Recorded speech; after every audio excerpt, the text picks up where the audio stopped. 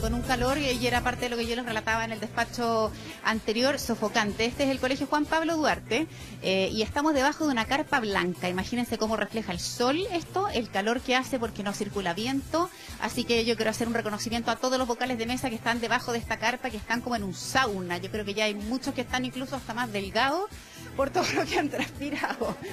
Bueno, pero además de contarles esa experiencia particular que se da en este lugar, les quiero presentar a, un personaje que para mí ha sido un agrado entrevistarla, em, porque es alemana y eso ustedes entienden todo lo que significa. Significa puntualidad, significa orden, significa estudiar, significa que las cosas funcionen.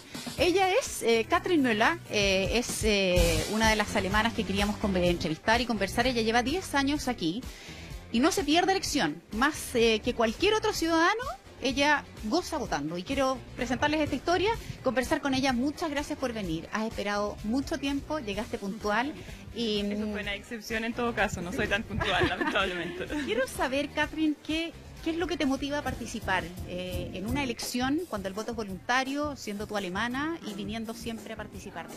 A mí me parece que votar es súper importante. Es un derecho y también es una forma mínima de incidir en cómo se gobierna un país, en cómo se toman las decisiones en la política. Y yo siento, es muy fácil alegar, pero es muy difícil ser proactivo. Y el hecho de votar, de participar en las votaciones, en las elecciones, es un paso hacia eso. Entonces me parece sumamente importante y también tiene que ver con la cultura quizá en Alemania, donde vimos qué pasa cuando la gente no vota, qué pasa cuando hay un sistema también, eh, un, sistema que es nefasto en ese sentido y, que yo creo que por eso también hay una, alta conciencia de la importancia de votar. En Alemania el voto también es voluntario. ¿Siempre tuviste el mismo entusiasmo de participar en tu familia? Sí.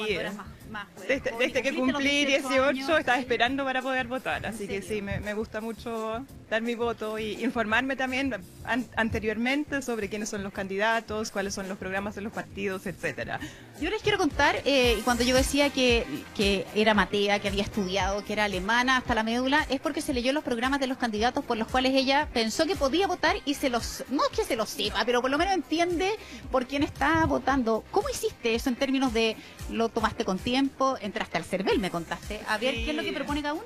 Entré en la página del CERVEL para ver cuáles eran los candidatos a las diferentes, como a las tres elecciones que, que, toca hoy día, pero también me metí en internet, en Google, y busqué los programas de los candidatos, la presentación, y también había varios medios que daban una comparación sobre ciertas temáticas, por ejemplo, temática migrante, temática arte y cultura, eh, arte y cultura que también me importa, y eh, como que hacían una comparación que era muy clara y, muy fácil de entender. Entonces complementaba la lectura de los programas con esas comparaciones que son bastante simples y ayuda. Perfecto.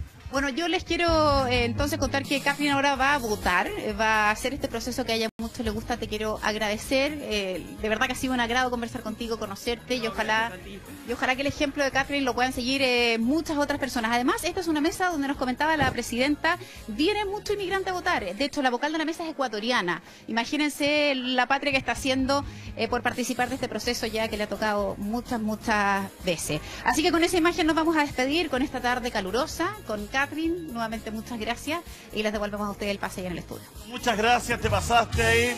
Ahí cúbrete en algún lugar porque hay una alta temperatura. Ahí Verónica va a dejar votar a nuestra invitada. Matilde, te invito, Pedro, ven por favor. ¿Por qué? ¿Qué ha pasado en la tarde, en la mañana?